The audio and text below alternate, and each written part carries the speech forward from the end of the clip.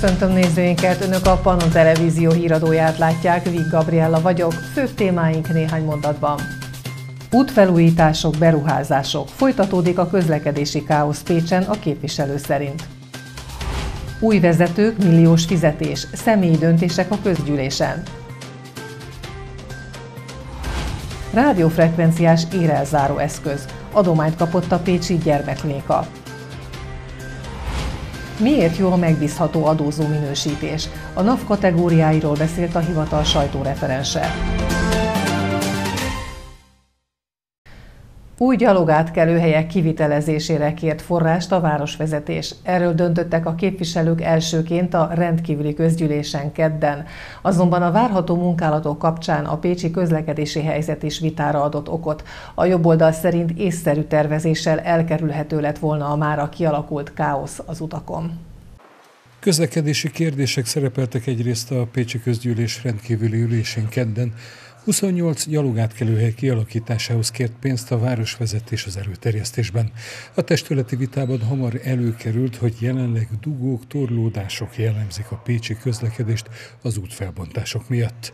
Az alpolgármester szerint ezek egy része napokon belül megszűnik. Egy uniós forrás végső szakaszában vagyunk, és vannak ugye állami és városi projektek. A városi projektek esetében döntően a szigeti utat érintő projektekről beszélünk, illetve a a Petőfi utcát. Itt nagyon sok olyan téma, amely szeptember 1-re készül, reményeink szerint a tegnapi esődésében nem játszott bele, az befejeződik. Tehát az iskolai közlekedés a Deák felé, illetve az orvoskar felé, ez reményeink szerint szeptember 1-re megnyílik. Talán az egyik lámpa fog még villogni, de a többi gyakorlatilag az, az aszfaltozással elkészül. A Siklós és a Nagy Imre úton más a helyzet. Ott a Pécs környéki kistelepülések víz- és csatorna hálózatához szükséges beruházásokat végzik. Ugye annak idén 60 évvel ezelőtt ezeken, ezeken az utakon tették le azokat a csöveket, amelyek elmennek a Pécs környéki településekhez. Ezekkel igazából nem tudunk mit tenni, teljes helyreállításon a Nagy Imrén értelemszerűen rendelet szerint. Nagyjából azt gondoljuk, hogy talán szeptember harmadik hetére és október közepére a nagyobb munkálatokat befejezik, illetve ezzel a céggel is egyeztetünk, hogy amit csak lehet, az őszi szünetre pakoljanak át. Ugye nyáron is nagyon sok munkát elvégeztek. Természetesen mindenki örül majd, ha az utak megújulnak a Baranyai vármegye székhelyen, de nagyobb szakértelemmel is tervezhették volna a felújításokat, mondja a Városi Fidesz frakció vezetője. Mit érzékelnek a pécsiek, hogy egyszerre mindenhol mindent lezártak? Ez megint csak azért van, mert ilyen-olyan okok miatt, de nem kellő módon átgondoltan álltak neki a város részébe ezeknek a beruházásoknak. Gyakorlatilag minden városrésznek egy jelentős útszakaszát, azt korlátozzák sávlezárásokkal, szűkítésekkel, vagy egészen egyszerűen komplet lezárásokkal. És időben is nagyon húznak ezek, húzódnak ezek a, ezek a beruházások. Gondoljunk a Szigeti útra, akik a környéket használják, ezt az utat használják. Hát 600 méterről van szó, és már nem tudom hány hónapja húzódik a kivitelezés. A testületi ülésen a baloldali városvezetés azzal érvelt, hogy állami beruházás a Siklósi és a Nagy Imre úti építkezés. A jobb oldal szerint másra hárítják a felelősséget, pedig itt is tervezni kellett volna folyamatokat. Ezeknek az torlódásoknak a beruházója túlnyomó részt az önkormányzat, valamelyik cég, önkormányzati cég, önkormányzati pénzből, céges büdzséből, vagy Európai Uniós finanszírozásból. De ezeket a beruházásokat túlnyomó részt az önkormányzat végzi, és ő nem volt képes összehangolni, vagy mondok mást, összehangolni az állami felújítással, hogy ezeket ütem, ütemezve e, e, valósíthatták volna meg, időben eltolva, egyik szakasz lezárás, elkészül, akkor bontom fel a másik helyen. Ennek az eredménye a most kialakult közlekedési káosz, mondja a frakcióvezető. Az eredeti előterjesztést, vagyis a 28 zebra kiépítését végül elfogadták a közgyűlésen. Csizmadia Péter azt mondja, jó az elképzelés, de félő, hogy ezek kialakítását is egyszerre kezdik meg, ami újabb fennakadásokat okozhat az utakon. Új igazgatósági tag és új vezérigazgató került a pécsi önkormányzati cégekbe. Erről is döntött a rendkívüli közgyűlés kedden. A Tetje Forrásház igazgatóságába jelölték a zsök vezetőjét díjazás nélkül, valamint vezérigazgatót neveznek ki a pécsi vagyonhasznosító élére havi 1,4 millió forintos alapbérrel. Személyi döntések is születtek a keddi rendkívüli közgyűlésen Pécsen. Két vezetőt kellett találnia a városvezetésnek. A Tetje Forrásház ZRT igazgatóságába jelölik a Zsök jelenlegi vezetőjét, illetve a Pécsi Vagyonhasznosító ZRT lemondott vezérigazgatója helyére neveznek ki új embert. Ezek a személyi döntések kerültek az önkormányzati képviselők elé. A családi okok miatt augusztus elején, most ebben nem mennék bele, egy közeli családtaggal kapcsolatos tragikus halálügy miatt kérte a felmentését a vezérigazgató, helyére neveztük ki a helyettesét, aki egy Pécsi közgazdasági egyetemen végzett, banki, kereskedelmi tapasztalatok rendelkező hölgy, három éve itt dolgozik, egy három gyerekes családanyáról van szó, akinek minden egyéb ismerete a cégről megvan. Az IT esetében pedig a zsök ügyvezetőjét kértük föl, akinek mérnöki háttere van, műszaki végzettsége van, és maga az ingatlan állomány üzemeltetése miatt napi kapcsolatban van a Tetje Forrás az ERT-vel. Jedlicska Zsófia Melindát nevezte ki a Pécsi Vagyonhasznosító ZRT vezérigazgatójává a városvezetés augusztus 30-ától határozatlan időre, miután a baloldali közgyűlés megszavazta. Bruttó 1 millió 400 ezer forint alapbért és éves alapbérének legfeljebb 70%-áig terjedő prémium díjazást kap az új városi cégvezető a döntés alapján. Hummel Márk díjazás nélkül került be a Tetje forrásház igazgatóságába. A Fidesz frakció vezetője szerint túl sok vezetőváltás volt a pécsi önkormányzati cégek élén. Mi ennek a vége, hogy ezek a cégek valamit szolgáltatnak. Vizet, közlekedéssel foglalkoznak, vagyongazdálkodással, ugye az ingatlan, ingatlan vagyonnal kapcsolatos döntéseket hoznak. Tehát a pécsiek a mindennapokban is érzik azt, hogy ezek a cégek jól mennek, vagy nem működnek jól. És nyilván egy indokolatlan, sorozatos vezetőváltás az sokkal kevésbé teszi őket hatékonyá, sokkal kevésbé tudják szolgálni a pécsiek közösségét, mint hogy egy kiszámítható vezetés mentén, egy átgondolt stratégia, feladatrendszer mentén történik a munkavégzés. Ugye ez volt a, ez volt a fő kritikánk, hogy már megint egy ilyen eset. Jedlicska Zsófia Melinda alapbére 400 ezerrel marad el az elődjétől, erre rákérdeztek a közgyűlési vitában is. A tisztakezek frakció tagja szerint vagy túlfizették az előző vezérigazgatót, vagy a munka nem ér ennyit, vagy azért kevesebb, mert nő az új cégvezető. A válasz szerint az elődnek elő kellett készíteni a vagyonhasznosító holdingosodását, ezért volt több a pénze. A holding nem valósult meg, és ez nem tegnap derült ki, jött az ellenérv. Korszerű érelzáró készülék érkezett a PTE Klinikai Központ gyermekklinikájára. Az új sebészeti rádiófrekvenciás érelzáró eszközt adományként vehetett át a klinika. Ez a modern készülék kisebb méreteiből adódóan az ellátott betegek méreteivel arányos nagyságú, és lehetővé teszi a korábban csak hagyományosan nyílt műtéti beavatkozások elvégzését is újszülött és csecsemőkorúaknál egyaránt.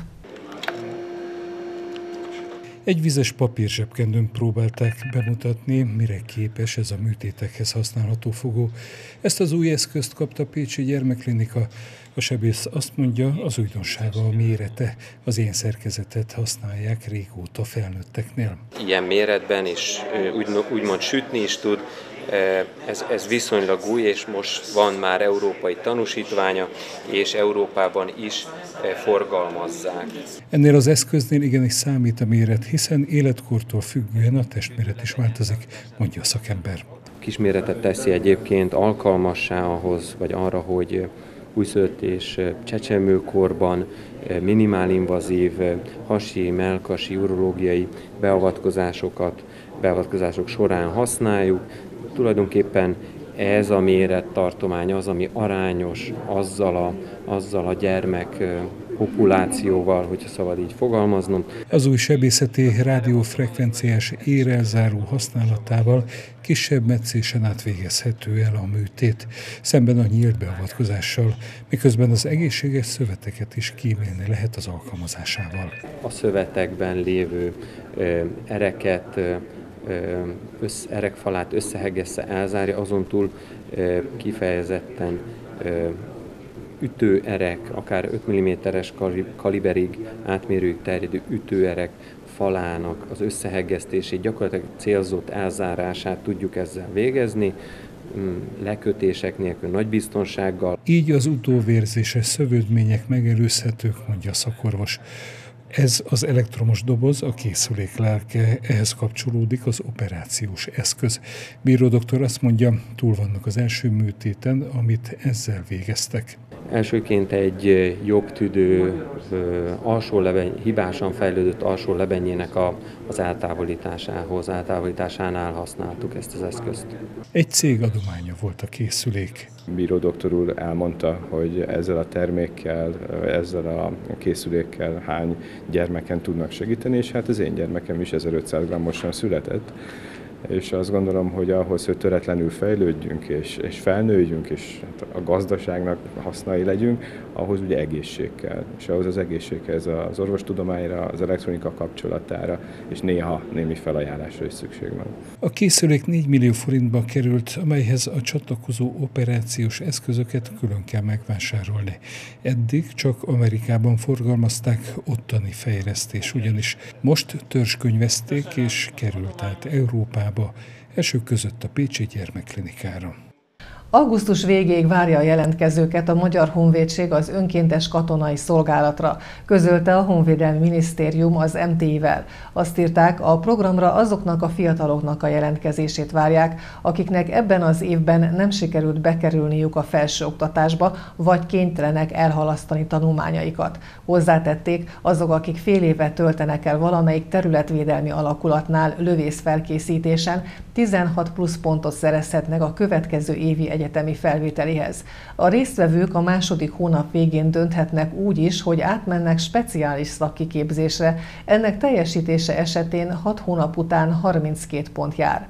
Aki további fél évig folytatja a szakkiképzést, az garantáltan 64 plusz pontot kap, így akár 500-nál is több ponttal jelentkezhet a következő felsőoktatási felviteli eljárásban, írták. A Honvédelmi Minisztérium tájékoztatása szerint a program felvételi követelménye egy egyszerűsített egészségügyi és pszichológiai vizsgálat. Annak azonban, aki a második hónap után szakkiképzést választ, például harckocsizó vagy búvárképzést, a magasabb szintű egészségi, pszichológiai és fizikai alkalmassági vizsgálaton is meg kell felelnie.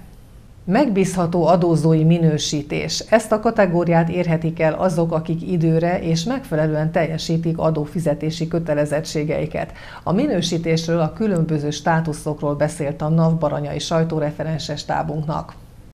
Az adóhivatal minősíti az adózókat, mondta el Adópercek című műsorunkban a NAV baranyai sajtóreferense. Ennek alapján különböző kategóriákba sorolják az adózókat teljesítményük alapján. Az adóhivatal a minősítés során figyelembe veszi az adóalanyoknak a teljesítését, tehát például az adótartozását, a bevallás teljesítéseket, illetve azt, hogy nem állnak csődeljárás, végelszámolási eljárás, vagy pedig felszámolási eljárás alatt.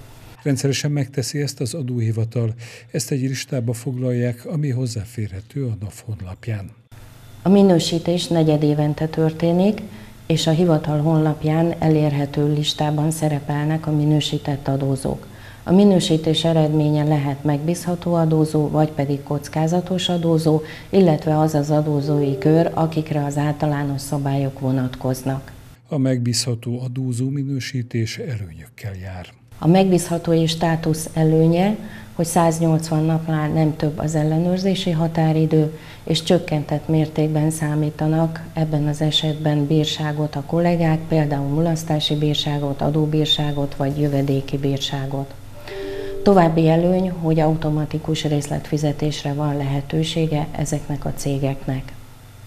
A kockázatos adózói státusz hátránya, hogy az ellenőrzési határidő akár 60 nappal is megnövekedhet, és emelt összegben fogják számolni a mulasztási bírságot és a késedelmi pótlékot is egy ellenőrzés során az, a hivatal munkatársai. További információ a minősítésről a hivatal honlapján olvasható, vagy tájékoztatás kérhető a 18-19-es infovonalon. A Jobb Veled a Világ Alapítvány tíz éve indította el a Boldogságóra programot óvodák és általános iskolák számára, amely egy egész tanéven át tartó érzelmi intelligenciát fejlesztő élménypedagógiai programot foglal magába. A 2023-24-es tanévre vonatkozóan eddig országosan közel 1500, ebből Baranyavár megyében 85 oktatási intézmény csatlakozott az egyedülálló programhoz, de még egy hónapig 2023. szeptember 30 10-áig várják a szakemberek a további jelentkezéseket, olvasható az alapítvány közleményében. A program kiváló kiegészítője lehet az óvodai vagy iskolai munkának, hiszen segítségével lehetőség nyílik arra, hogy a hagyományos tudás megosztást és az életben szükséges személyes és szociális kompetenciák fejlesztését összhangba hozzuk. A boldogság órán elsajátított tudás segítheti a gyermekeket a hétköznapi problémákkal való megküzdésben, mondta az alapítvány munkatársa. Kedden reggel a 200 cm sem ért el a Duna vízállása Mohácsnál, azonban a következő napok során várhatóan jelentősen nagyobb vízzel számolhatunk. Az előrejelzés szerint jövő hétfőig a jelenleginél mintegy 3 méterrel emelkedik a folyó vízszintje Mohácsnál, akkor 510 cm körül alakul majd a vízállás. A régió híreivel folytatjuk. Egy kormányprogramnak köszönhetően az országban megújulnak az útmenti rossz állapotban lévő keresztek. A Bonyhádi Német Nemzetiségi Önkormányzat sikeres pályázatának eredményeként a hétvégén egyet át is adtak a Tolna vármegyei településen, Ladomány részén. Az ünnepségen Potápi Árpád János nemzetpolitikáit felelős államtitkár országgyűlési képviselő is beszédet mondott. Európa a kereszténység nélkül csupán egy földrajzi fogalom lenne. A kereszténység a hit hozzátartozik a mindennapjainkhoz. A kormány az elmúlt évek óta ezért is támogatta régi keresztek felújítását és újak felállítását, mondta Potápi Árpád János, a miniszterelnökség nemzetpolitikáit felelős államtitkára, a térség országgyűlési képviselője a hétvégén Ladományban megrendezett keresztentelő ünnepségem. A Bonyhádi német önkormányzat három keresztnek a felújítását kezdeményezte, illetve illetve erre adta be a pályázatát. Egyrészt itt Ladományban, másrészt pedig Bonyhád végén a Zombai Teveli út elágazójában és a Bonyhád Varasdi tetőn régi keresztek eh, voltak, azokat kellett felújítani. 3 millió forintot nyert el ebből a célból. Az államtitkár szép gesztusnak tartja, hogy az utókor felújítja a több mint 100-150 éves kereszteket. A Bonyhádi Német Önkormányzat sikeres pályázatának eredményeként újulhatott meg a kőkereszt. Kölerné Koch Ilona elnök egyben az Országos Német Önkormányzat tagja is. Szerinte a németség mindig is vallásos volt, ezért tudtak megmaradni évszázadokon keresztül a nehézségek ellenére is. A világháborút, a kitelepítést, a Málenki robotot mindig a vallás segítette őket tovább, és a keresztállítás is azt mutatja, hogy vallásosak voltak. Ha valami bánat érte őket, vagy valami öröm, akkor egy keresztet állítottak. Ennek vagyunk tanúi most itt Ladományban. A Ladományi keresztet Markovics Milán Mór vezető kiemelt tábori lelkész pastorális helynök szentelte meg. Tikkasztó hőséggel, de remek hangulattal kezdődött az idén ötödik alkalommal megrendezett Lecsó Fesztivál a vándorló szépkorúak baráti körével. A vidám társaságot kunsági bordalokkal és citera zenével szórakoztatták a finom ételek és italok mellett. Ötödik alkalommal került megrendezésre a már hagyományá vált Lecsó Fesztivál Tolnán. Közel 90 vendég vett részt az eseményen, amely szokás szerint a vándorlók vezetője Zsinka János háza előtt az utcán felállított sátrak alatt zajlott. Egy hagyományos, úgymond parasztlecsót csináltunk, alápirítottuk a szalonnát, annak a zsírjával megdinceltük a hagymát, rá a paprikát, a paradicsomot, és a vírba kiszedett szalonát visszaraktuk, és a, a füstölt kolbász is beletettük.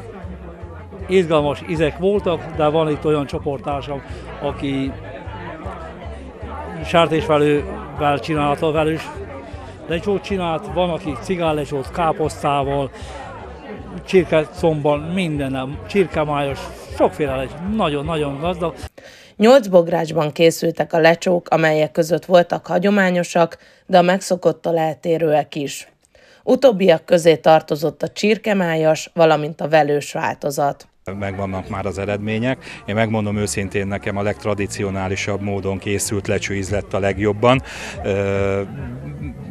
volt nem egy, nem kettő, ami maga nevében teljesen különleges volt, különleges ízeket hozott, párosításokat, akár májas, velős, csirkehúsos, de én maradnék a tradicionális, legegyszerűbb változatnál, nekem ez lett a legjobb.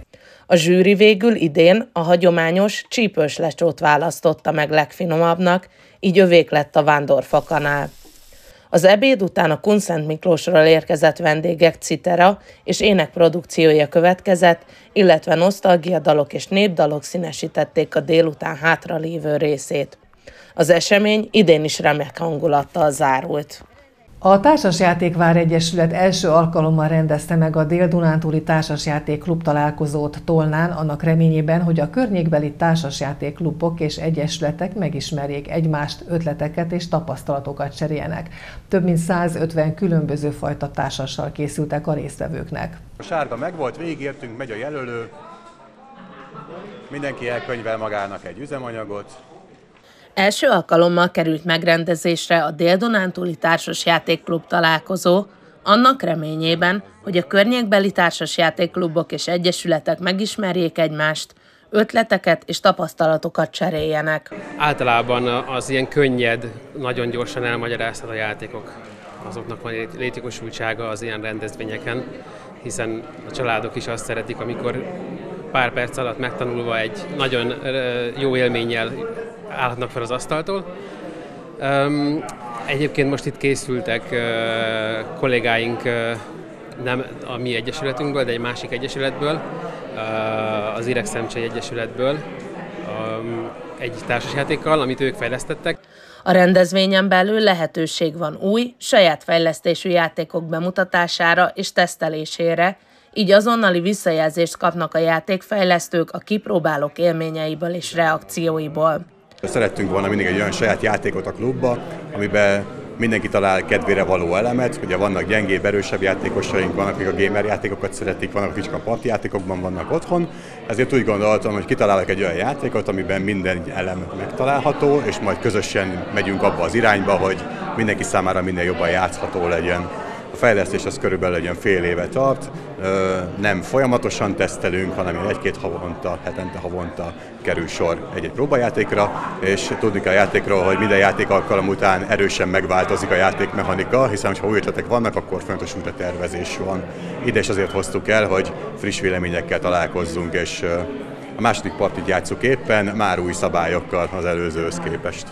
Az összejövetel létrehozásával olyan hagyományt szeretnének megteremteni, amelyel minden évben országos figyelmet tudnak irányítani a hazai társasjátékos életre.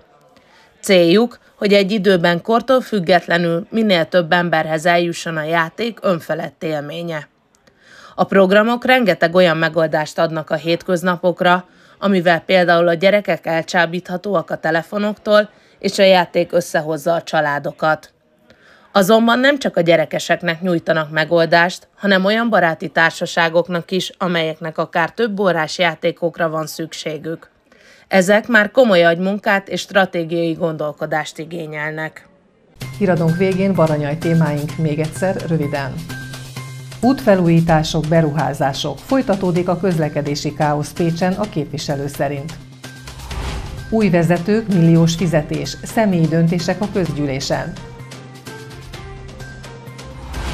Rádiófrekvenciás érelzáró eszköz. Adományt kapott a Pécsi Gyermeknéka. Miért jó a megbízható adózó minősítés? A NAV kategóriáiról beszélt a hivatal sajtóreferense. Szerdán gyakran zavarhatják felhők a napsütést, és kialakulhatnak időnként záporok, zivatarok, helyenként felhőszakadás, jégeső is előfordulhat. A szelet élénk erős zivatarok környezetében viharos lökések kísérhetik. Reggelre 12 és 20 fok közé csökkenhet a hőmérséklet. A legmelegebb órákban 19-28 fokot mutathatnak a hőmérők. Friss hírekkel legközelebb holnap este jelentkezünk, addig is kövessék műsorainkat, illetve keressenek minket a Facebookon, ahol naponta friss hírekkel, érdekességekkel várjuk Önöket. Ha látnak valamit, ami Önök szerint érdekes, akkor azt osszák meg velünk, hogy másoknak is megmutathassuk. Mára köszönöm figyelmüket, viszontlátásra!